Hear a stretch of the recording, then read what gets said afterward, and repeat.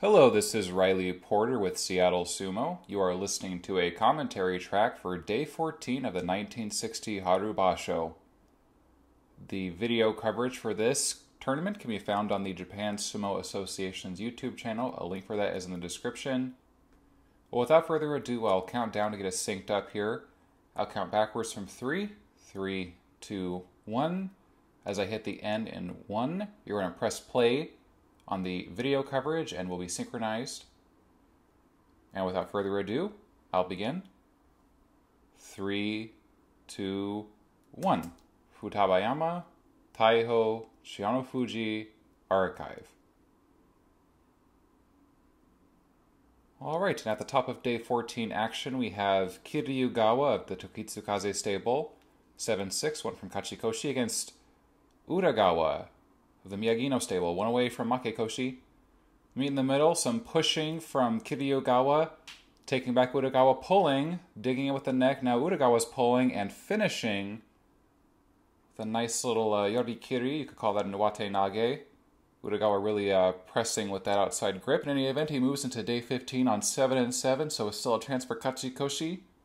Now, Kuninobori, another Juryo visitor, is up against Tsuninishiki, who is on his way back to Juryo. He's on 310 already, close to the bottom of the division. And he jumps to the side, Tsuninishiki, and moves back in for a belt grip. He's on the outside right. He's got a good angle, staying low. Kuninobori is the much heavier man. A little bit of a stalemate here. Jostling. Tsuninishiki moves in. Oh, he's being lifted, but he sticks down and pushes down Kuninobori. Little bit of a dashinage seemed like a pulling throw. Tsuninishiki picks up his fourth win beating Kuninobori and improving his head to head with him to 6 2. So he's got his number. Naruto Umi a Makekoshi. Maegashira 14 pretty close to the bottom of the division, so he's fighting to stay in Makunochi. Is up against Wakachichibu, who's already 310. Not doing very well. They meet in the middle. Narutomi gets that Maemitsu, that shallow middle grip.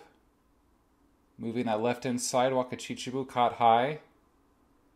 Wakachichibu trying to lock up the arm. Narutomi getting both hands there. Maemitsu. Middle of the belt, wrenching it up into Wakachichibu's chest. Pulling. More pulling. Tries for a little leg sweep. Not able to topple Wakachichibu yet, who's got his own outside left going. He's in this bout now. He's got an inside right. He's deep on Narutomi. Narutomi, the lightest wrestler in this division. If there's a man you want to try to lift out on, this would be it. And he does Wakachichibu Tsuridashi, yanks up Narutomi onto his big belly and finishes him off. So Wakachichibu goes to 410. Narutomi, that's his ninth loss. Pretty close to demotion. Matsunobori, 5-8 against Fukudayama, also 5-8. Fukudayama, the less experienced of the two. While Matsunobori doesn't get very far in the tachiai, kind of catches Fukudayama, but now he's moving in and pressing out, winning via Yorikiri. So Matsunobori kind of sat back this time, didn't didn't come out with the charge, decided to wait and watch, taking out the lighter man. Matsunobori gets his sixth win, Fukudayama his ninth loss. And Maegashira 10, he's not too close to the bottom of the division, but 10 losses, you know, if he loses tomorrow too, that'll send him a ways down. Kani no Hana against Wakamaeda, they're both 8 5. They're from uh, two of the biggest stables in the division, or in sumo, really, two of the more prestigious ones. Takasago for Wakamaeda. Dewa no Umi for Kani no Wakamaeda hits the chest and moves out Kane no Hana. So relatively even tachiai. Kane no Hana, Kane no Hana shot off, but uh, Wakamaeda, the bigger man, gets into gear and doesn't look back. That's his ninth win. He has the potential for double digits this basho. Looking good.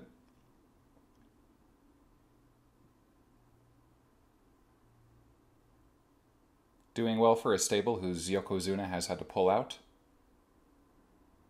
Wakamaeda. Ao no Sato Couldn't get Kachikoshi today. He's on 7 6. Atagoyama across from him, the bottom man in this division, already has his Kachikoshi. So a bit of pressure off. He comes in pushing, moves up on the neck and chest. Aonosato's caught him. Now he's moving in and finishing Atagoyama. So Atagoyama got to pushing. Aonosato made a little distance, changed the angle, and then closed that distance, dropping his hips and finishing Atagoyama. So Aonosato gets his Kachikoshi a day before the finale. Bit of pressure off for this man, too. The up and comer from Tokitsukaze. We'll see if he can get a little bit above the mark tomorrow. Hanada, he's still in it. Still with that injured left, hasn't managed to pick up any wins since that bandage appeared. Against Kaizan, who already has a Makekoshi. Hanada comes out to the right and very fleet footed, circles to behind Kaizan and pushes him down. So Hanada, he does it, gets that seventh win. Manages to execute effective sumo despite only being, uh, well, effectively a one armed Rikishi at this stage of the Basho. So Hanada, in his top division debut, definitely having a pretty rough second week, but he can still come out with a winning record. Ogi no Hana 6 7 against Kiyonomori 9 4.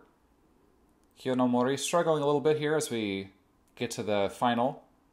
Ogi no Hana comes in low, pushing. Kiyonomori tries a Katasukashi, fails. Now he's pushing in, but gets swung down by Ogi no Hana. So Ogi no Hana, good form, staying low. Doesn't get upset too badly. Tosses down the lightweight Kiyonomori and gets his seventh win. So Ogi no Hana moves into the final day. 7 7. Things could end either way for the Dewa no Umi man. We'll see. Now, Hani Nishiki 4 9. And Magashira 12. He'll want to get at least one or two more wins here to secure his rank in the top division against Tamanoumi, 310. Not looking too lively this Basho. Hanishiki shoots across the lines. He's double inside.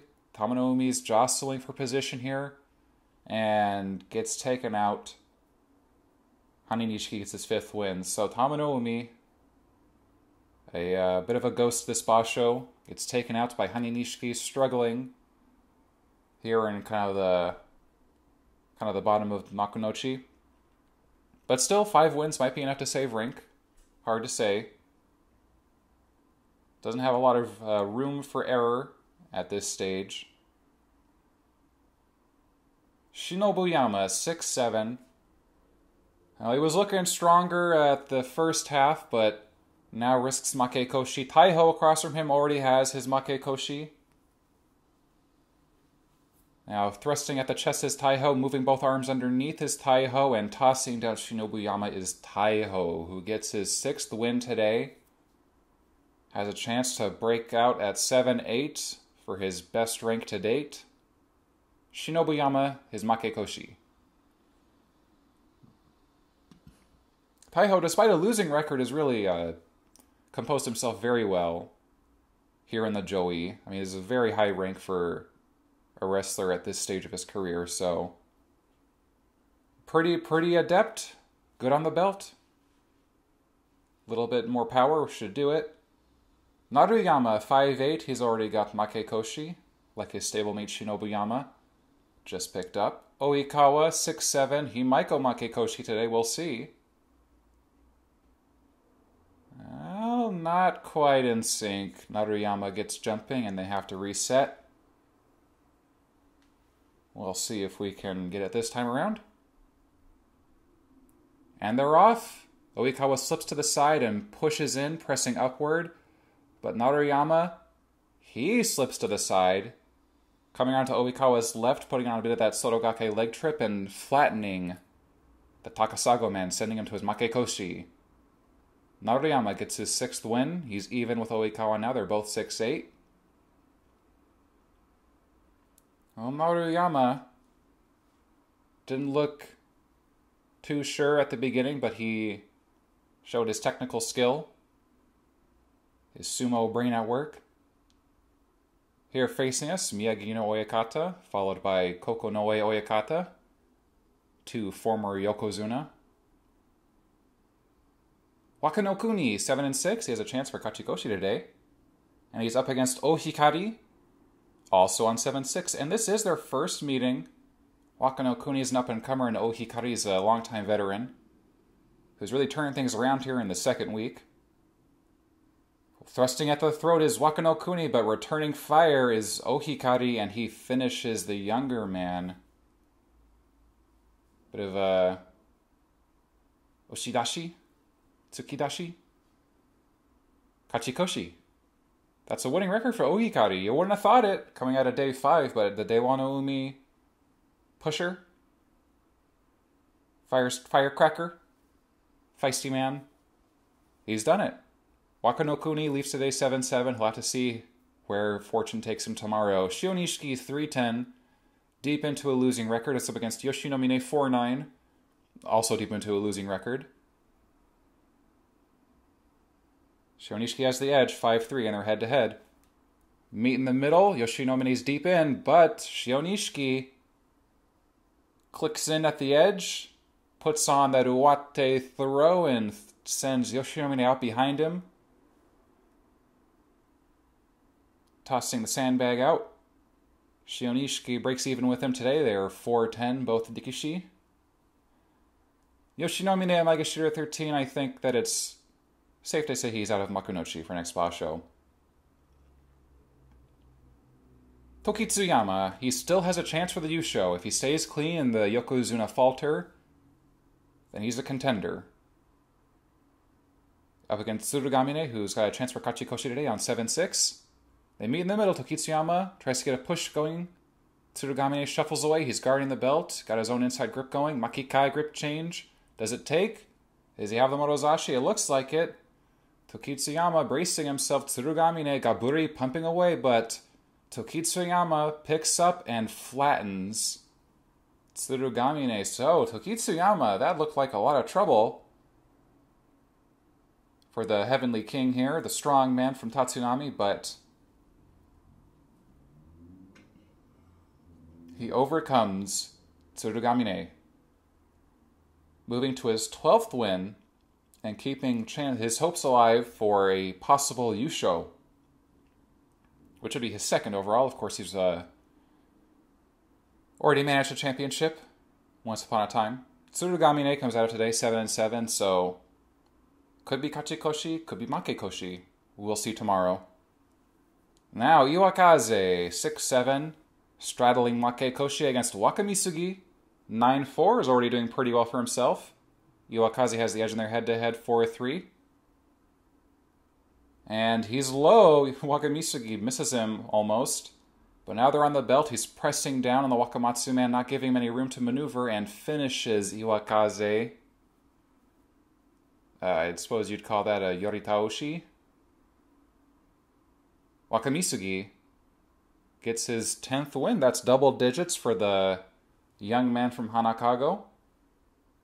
Looking very good there. Iwakaze is typical Tachiai Almost, uh, almost seemed to give Wakamisugi the slip, but no lateral movement to pair with that ducking, so Wakamisugi got caught, caught Iwakaze, sent him to his Makekoshi. That's his eighth loss. Tamahibiki, he's already got his Kachikoshi. He's 8 5, and he's up against a man who also has a Kachikoshi, Kitanonada, 8 5. So, not too much at stake for these two Rikishi. Tamahibiki hits the chest. Kitanonada Tries to get those arms out of the way, get some pushing going of his own. Little gut thrusting. He's got Tamahibiki on the edge and flattens him. Yoritaoshi, Kitanonada, ninth win. Chance for double digits tomorrow. Tamahibiki, that's his sixth loss.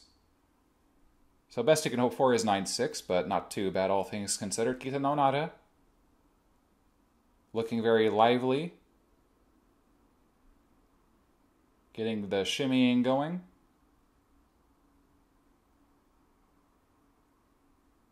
Well, good for him. Two Tatsunami men winning today so far. Dewanishiki 4 9 against Wakanomi 4 9. Well, neither having a very good basho, probably looking forward to the end. Now, Dewanishiki Takes a catcher's pose, doesn't move forward too much, waits for Wakanoumi, and now they're arms across from each other, forehead to forehead, and that's all that's keeping them posted. Dewanishiki keeping distance, doesn't want to let Wakanoumi get in too deep. Wakanoumi digging in that head, looking for that grip. Dewanishiki threatens to do the same. Dewanishiki pulls him and he's got that outside right now. Wakanoumi, he gets the inside left. He's at a decent angle here. Does he have the power to finish off Dewanishiki? Dewan not an easy man to move out of the dohyo. A bit of a standoff. Wakanoumi, I think, could move to a Morozashi here. But would that be his preferred stance at this moment?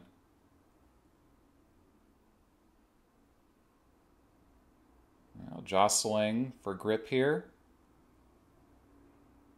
The waiting game. Not a very, not a, not an un, all too unfamiliar scene for Dewanishiki. He's used to leaning, and now Wakanomi's belt is loose, so we're taking a pause in the action so the Gyoji can tie it back up.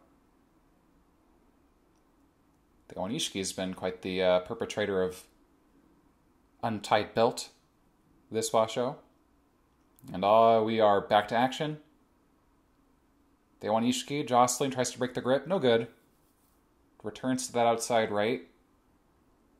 Stalemate continues. Dewanishiki leaning on the smaller man. what is Wakanomi's game plan here? Well, I would think he'd want to make a break for the inside. Probably a Morozashi. Dewanishiki's heavy. And he knows how to defend against a shorter Rikishi, that is for sure.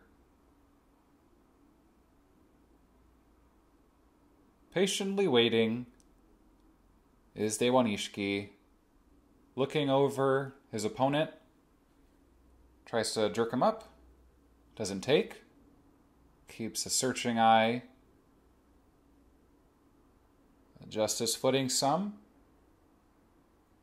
tries a little leg sweep, nothing taking.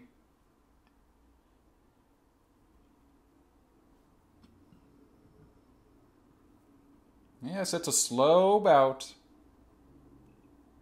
Dewanishiki searching for something. Wakanoumi, I suppose, also searching for something. Can't really see uh, what's going through his head right now. But his head seems to be making its way through Dewanishiki. It's really dug into the chest there. Dewanishiki tries to pop on the inside of the thigh, but no good. They circle, and now they're back to a standoff. Oh, Dewanishiki's tried a few tricks here, credit where credit is due. Making a little more action in this bout than uh, who seems content to just post up underneath the big man. Now he grabs for the leg. No dice. Another pause in the action. And it's Dewanishiki's belt this time. And we're done tying that up. Back to it. Pulling is Wakanoumi. Staying put is Dewanishiki. Now Dewanishiki tries for a pull. Stalemate. Dewanishiki drives in. He's going for Yori. Wakanoumi circles away. Stays alive. The bout continues. Well, Dewanishiki presses in. Wakanoumi moving around. Wakanoumi doing well to pivot, circle to Dewanishiki's left, favoring that outside grip.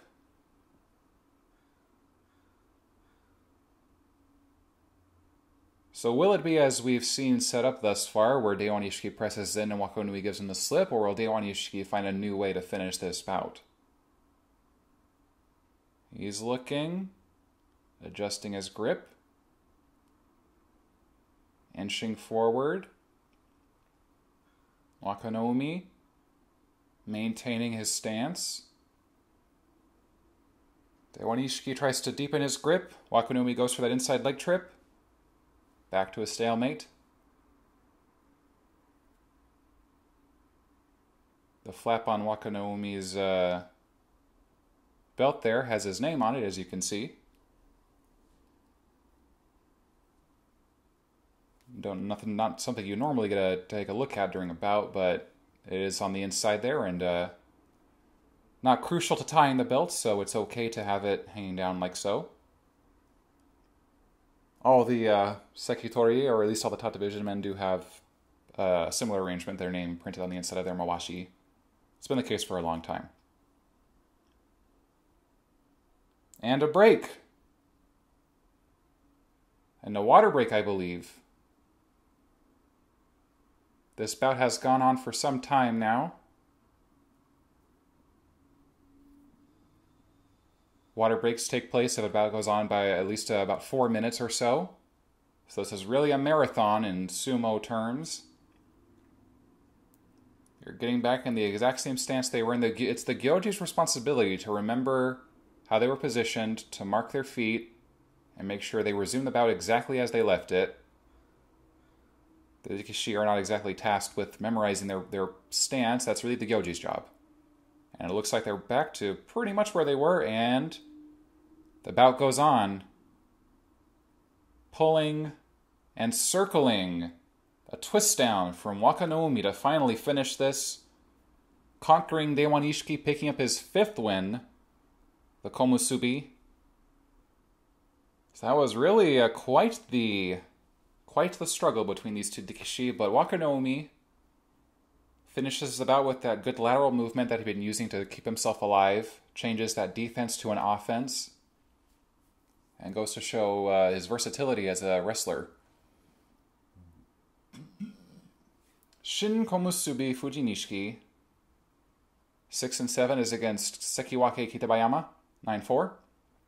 Fujinishiki gets pushing. Kitabayama standing his ground, fishing for that shallow grip, circling away from the edge, pulling up on the belt of Fujinishiki. Fujinishiki's had his momentum upset now, and he's hanging on. When it comes to grips, I think Kitabayama is the much stronger Rikishi, so he should be able to finish this, and he pulls down Fujinishiki. Shitate Dashinage, inside pulling belt throw. Well, Kitabayama gets double digits on day 14, 10 and 4. His uh, Yusho dreams are long gone, but He's still looking solid, showing uh, anyone below his rank that he's not a man to be messed with. Annenyama, the only uh, top division Tatsunami Rikishi with a Makekoshi this basho is against Tochi Hikari. 7 6, struggling to secure that winning record. Annenyama dodges to the side. Tochi Hikari moving that hand behind the shoulder blade, pushing and pushing from the rear. Tochi Hikari pulled away, tugged on Annenyama, sent him sprawling forward, then followed up behind for an Okuri Dashi, rear push out, securing his Kachikoshi. Tochi Hikari. Well,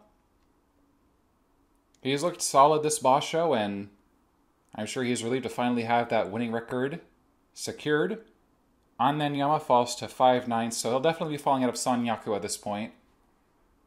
He needed at least a 7-8 just to land on Komusubi. Shinsekiwake Kashiwado already has his Kachikoshi. He's up against Ozeki Kotogahama, looking for his Kachikoshi today. And Kotogahama gets the better of the Tachiai, gets to work on the Uchigake, but can't finish Kashiwado, who gets to work on a scoop. But Kotogahama moves from inside leg trip to inside leg trip and finishes Kashiwado with the second attempt and gets that Kachikoshi. So Kotogahama evens up his head to head with Kashiwado. Now it's 2 2. Did well to stop Kashiwado in his tracks. Kashiwado relies on a strong Tachiai and good Dayashi, so if you can halt his momentum, that's your best chance to win. Trade secret. Wakahaguro an Ozeki that already has his Kachikoshi today is against Wakanohana. Wakanohana has a 17-2 edge in their head-to-head, so odds favor him certainly. He meets him in the middle. Wakahaguro gets to pushing. This is what he wants. And a scoop throw from Wakanohana. gets both hands on the blades, the shoulder blades of Wakahaguro, and tosses him down. Wakanohana, 14 0, eliminates Tokitsuyama from the Yusho race. And now we'll see if Tochinishiki can keep pace. So Wakanohana, Wakahaguro, he was in his preferred sumo. He was at the angle he wanted. He was pushing up. His hands may have been a little high. He was catching the jaw and shin, might have better off on the chest, but not much more he could have done. Tochinishiki against Fusanishiki. Fusanishiki has not beaten Tochinishiki once in their eight meetings together, so tall order for him. Tochinishiki wants to keep pace with Wakanohana. A little bit of a sidestep from the Yokozuna, who's now backpedaling. Fusanishiki's really on the attack, but Tochinishiki outpaces him keeps the lateral movement going and pulls him down. That looked to me like, uh, I suppose that would be uh, Tsuki Otoshi, Hataki Komi, a bit of a pull down, slap down motion. In any event, Tochinishiki is 14 0. So the two Yokozuna are unblemished going into Senshuraku. 14 0 versus 14 0. Tokitsuyama is out of the Yusho race. It is between the two Yokozuna. And we'll see what the result is tomorrow. Thank you for joining me.